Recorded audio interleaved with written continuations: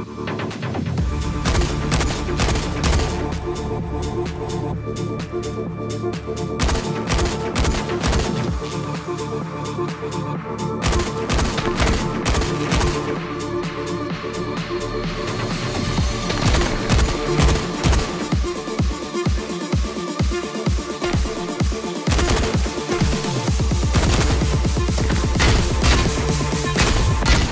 people think there are strange creatures on Mars.